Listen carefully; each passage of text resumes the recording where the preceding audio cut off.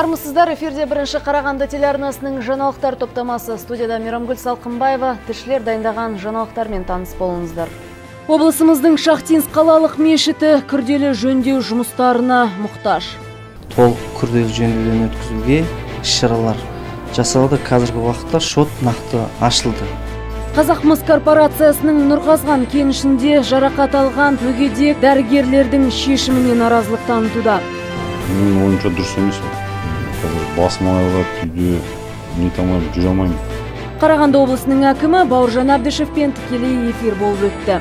С марта месяца все студенты, вот 35 429 студентов, которые учат в нашей области, будут ездить по 50 Қақаған аяс облысымыздың Шахтинск қалалық мешітіне де өз әсерін тигізуде. Бұл жақтағы Алланың үйі біраз жылдан бері күрделі жөндеуден өтпеген көрінеді. Әруақтарға құран бағыштағысы келген әр адам суық бөлмеде жаурап отыруға мәжбүр. Өз кезегінде қыстың қамын жазда ойламаған мешіт өкілдері бұл мәселені жазда түзетуге уәделерін шашып бақты. Талғат Қалиұлы толығырақ.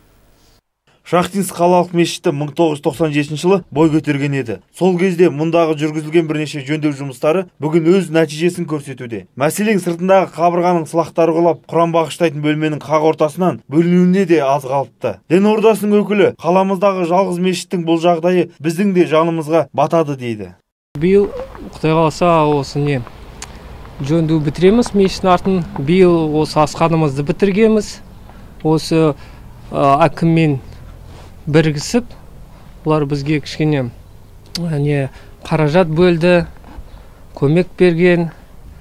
17 жыл тарихы бар бұл мешітке жөндеу жұмысының жүргізілмегеніне де біраз жылдың жүзі болды. Дұға оқуға келген адамға ешқандай жағдай қарастырмаған. Тым құрмағанда тәпішкесі де жоқ.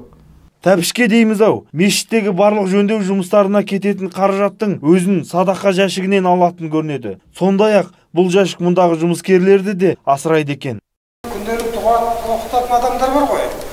Жүз теңге елу теңге қырық теңге бүйтіп ана жәшікке түседі. Содан ана неменен имамдардың айлық әрең шығады. Он мың теңге бес мың теңге бір айда.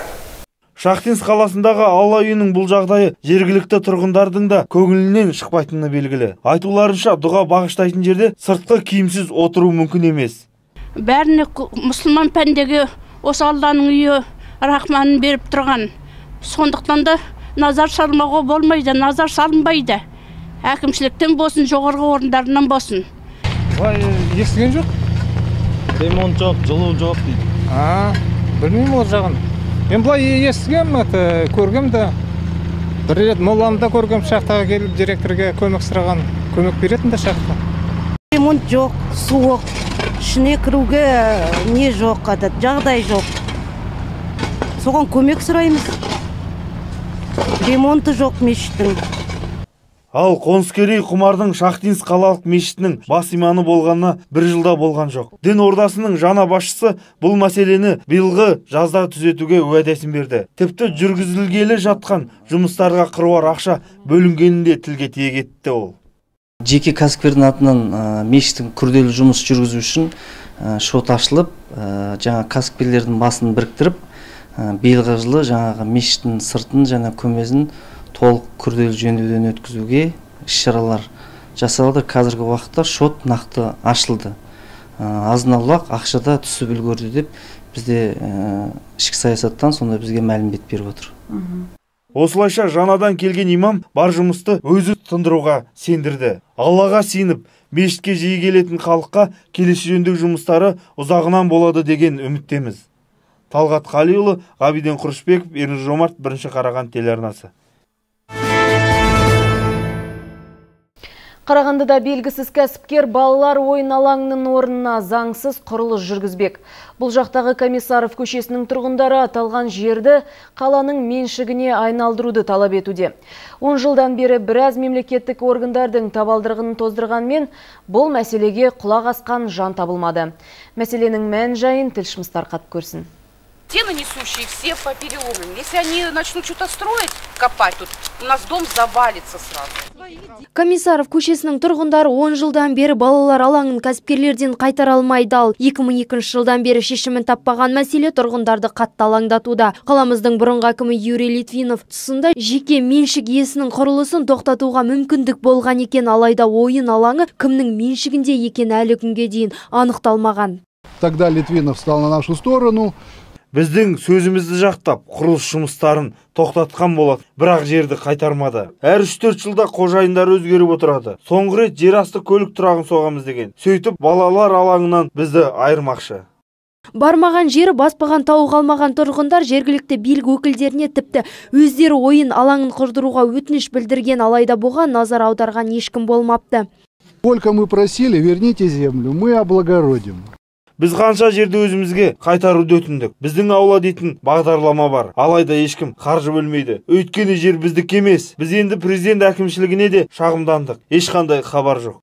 Тұрғындарды жергілікті билік өкілдері 17 наурызға дейін бұл мәселелер өз шешімін табады деп сендірген. Алайда олардың сенімі үзілген сыңайлы уәдемен 10 жыл көлемінде алданған қарағандылықтар бар болғаны шаһарымыздың меншігіндегі жер қайтарылса дейді.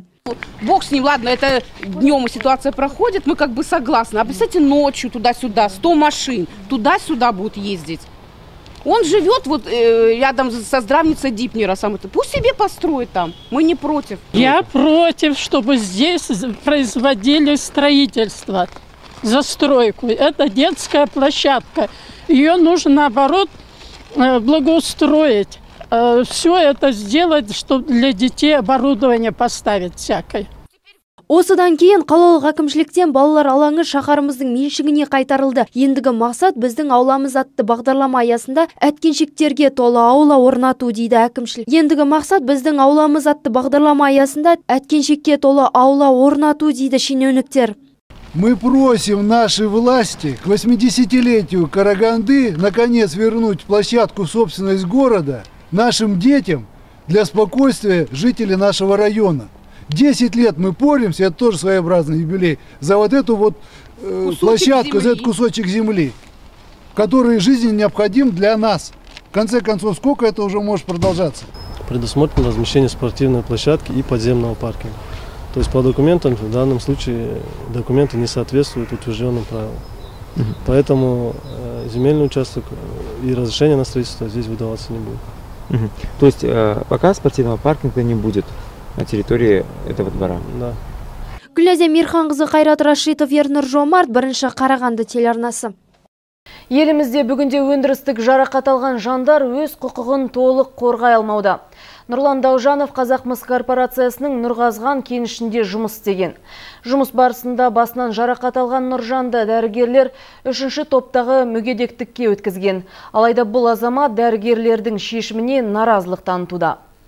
Нұржан Даужанов Нұрқазған кенішінде шаң тозаңды желдету қызметінің инженері болып жұмыс істеген. Шахта астында жүргенде төбеден ауыр зат құлап, басынан жарақат алған. Жарақаттанушы есін жимаған күйде жедел жәрдем көлігімен ауруханаға жеткізіліпті. Ауруханада екі жұма жатып шыққан. Бүгінде айына екі үш рет талмас ұстап ауырып қалады екен. Ақ халаттылар басынан қатты соққы алып, миы шайқалған деп анықтама берген.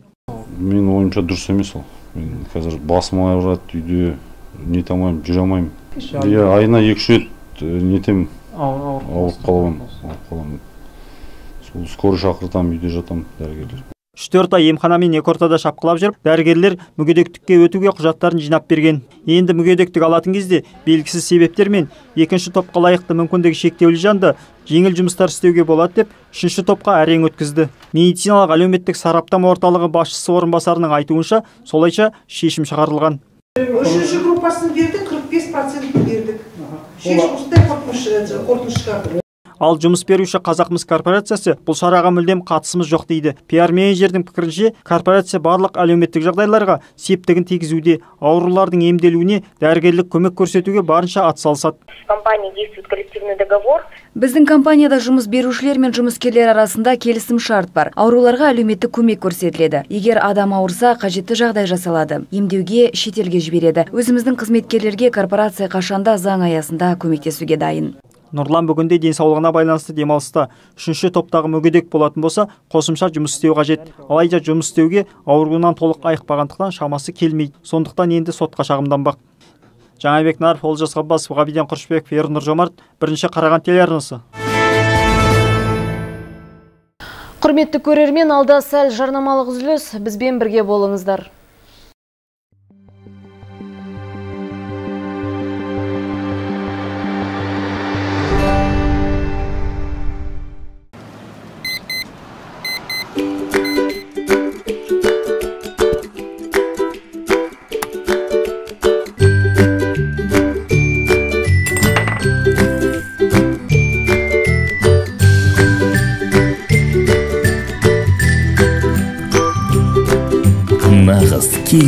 Далина нанди шайының дәмін татып рахатқа бөленіңіз. Далина нанди тамаша таңдау сіздің еркіңізде.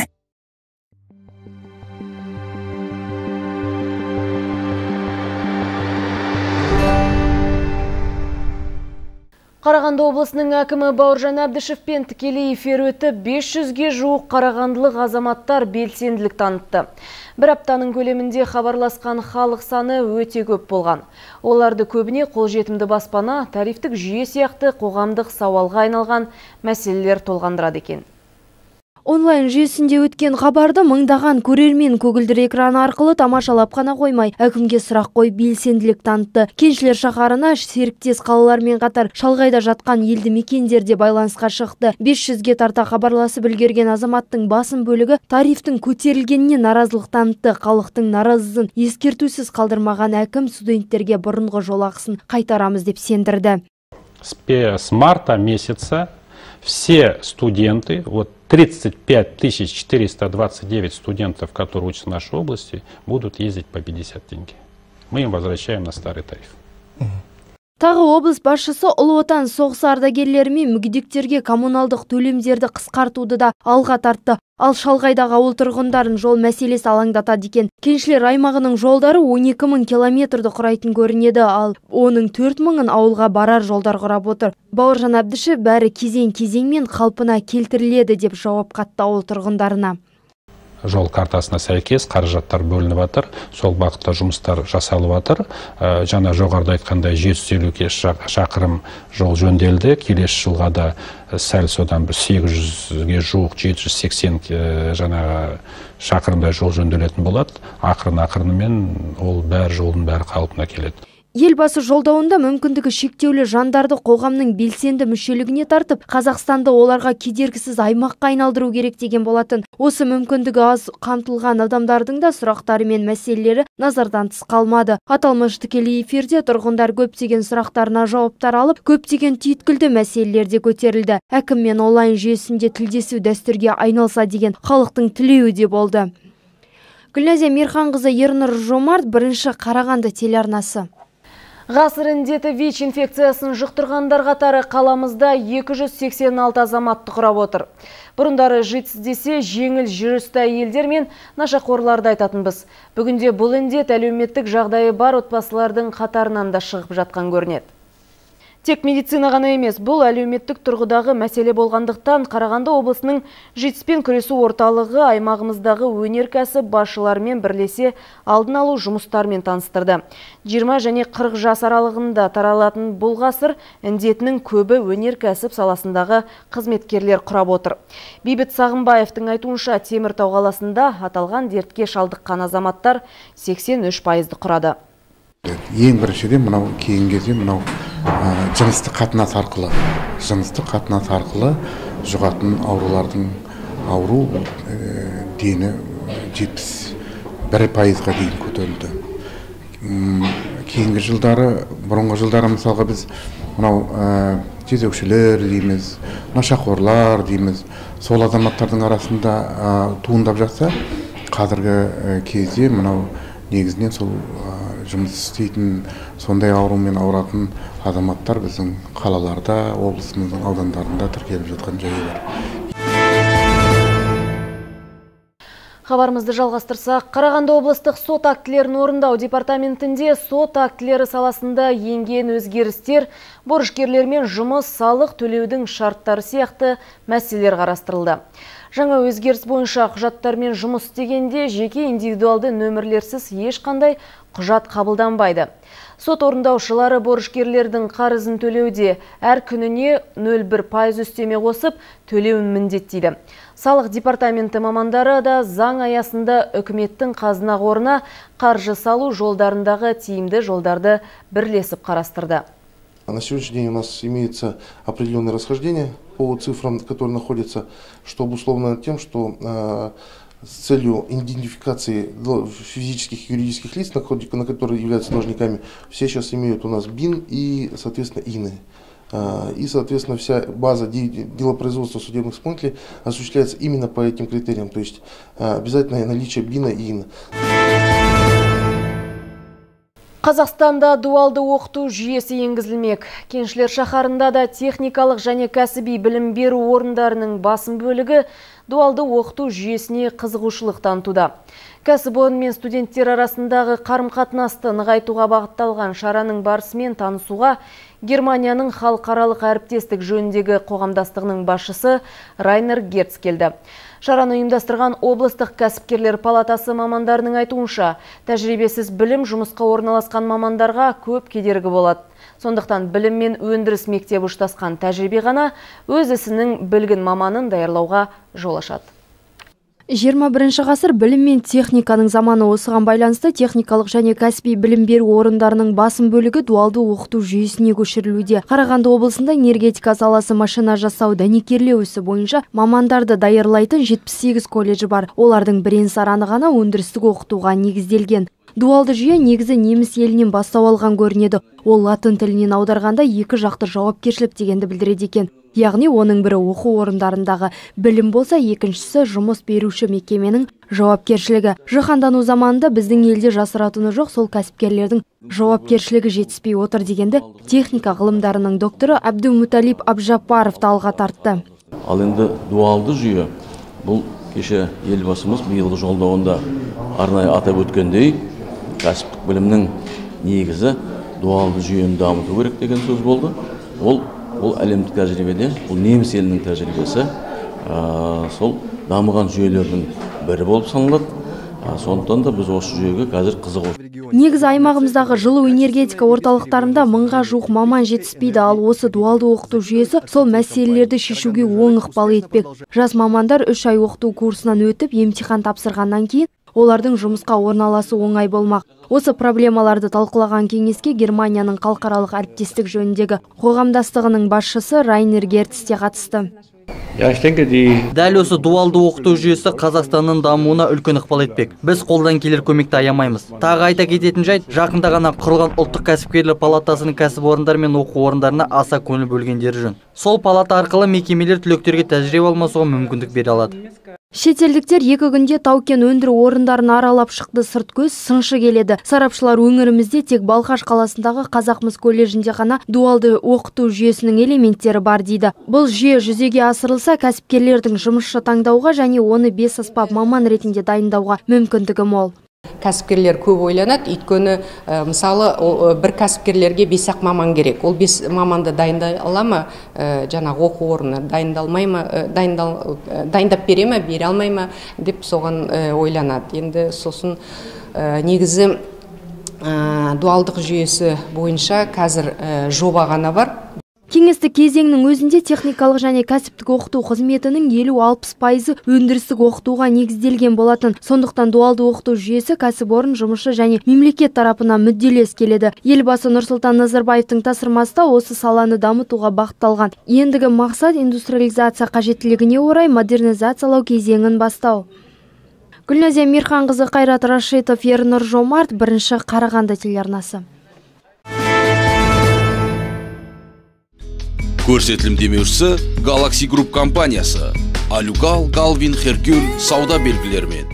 Galaxy Group компаниясы Қазақстан Республикасында 18 жылдан бері есік терезелерге арналған пластик және алюминді профильдерді өндірушілердің негізін қалаушы болып саналады. Және сіздердің назарларыңызға Қазақстан Алюгал фирмасының эксклюзивті өнімін ұсынамыз. Алюгал жоғары сапалы алуан түрлі алюминий профильдерін өндіреді. Кез келген қиындықтар тапсырыстарды қабылдайды. Самалдықтар, есіктер, терезелер, кеңсе ара қабырғалары және кіретін топтар. Алюгал алюминий профильдері бұл заманауи, төзімді, абыройлы болып келеді. Кез келген түсті таңдап береміз. Оңай жиналып қолданылуы еш қиындықсыз. Өйткені алюгал фирмасының өнімдері біздің ауа райымызға бейімделген. Алюминий профильдері бұл алюгал. Бүгінге айтарымыз осы, егерде қызықты жаңалықтарыңызбен бөліскіңіз келсе, біздің редакциямыздың нөмірі 42 06 49 екенін ұмытпаңыздар. Мен өздеріңізбен қоштасамын, аман сау болыңыздар.